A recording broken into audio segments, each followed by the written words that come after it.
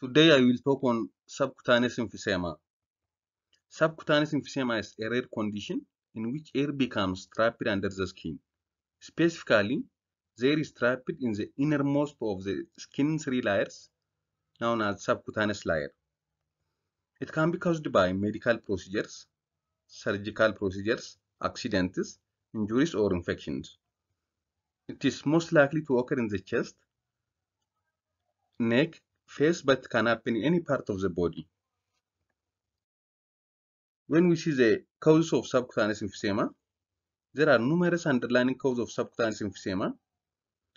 For example, injuries to almost any part of the body, especially the chest, sinuses, or facial bones, pneumothorax, infection with necrotizing bacteria that kills skin tissue, increasing the risk of gangrene, surgical trauma, laparoscopic surgeries, barotrauma, accidental injury to the trachea during intubation can also cause subcutaneous emphysema. In addition, injuries to the esophagus, often during insertion of feeding tube, bowel or esophageal perforation, bag mask ventilation during CPR, this can all cause subcutaneous emphysema. Rarely, subcutaneous emphysema may occur for no reason. This is referred to as subcutaneous emphysema of spontaneous onset or spontaneous subcutaneous emphysema. Subcutaneous emphysema is more common in men than in women. Possible symptoms of subcutaneous emphysema include if it is mild, it is asymptomatic. Otherwise, edema or swelling in the affected area and a crepitus or a crackling sound when the surface of skin is examined by touch. Crepitus might be the sign that leads medical professionals to diagnose subcutaneous emphysema. In addition, it can cause sore throat, neck pain, difficult breathing, difficult swallowing or speaking, and also voice changes and the distension or bloating of the abdomen. The possible complications include problems with airways or heart, tension pneumothorax, compression of the trachea, compartment syndrome or swelling of muscles and the other body tissues, poor blood circulation or perfusion to the brain mainly, and the pacemaker failure if the patient is having pacemaker.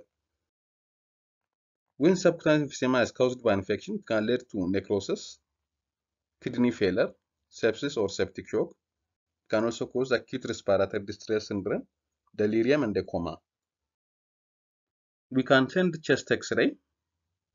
On, on this, image show a positive sign for a Ginkgo leaf sign.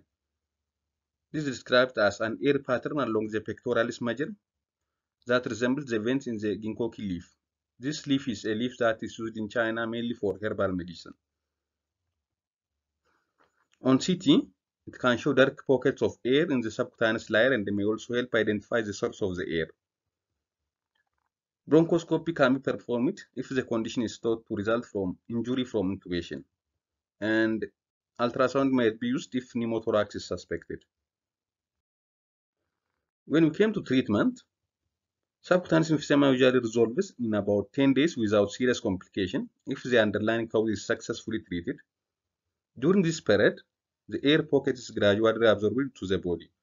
But during this time, we should have to give oxygen, we should have to give abdominal binders to compress the abdomen and the pain medications. Treatment for subcutaneous emphysema may include the administration of highly concentrated oxygen, since it helps the body absorb the subcutaneous air more quickly, making two infraclavicular incisions on each side, deep incision made below the clavicle bone, and insertion of chest tube to remove the air and the severe case of subcutaneous may require surgical treatment or the insertion of the drains. Thank you for watching.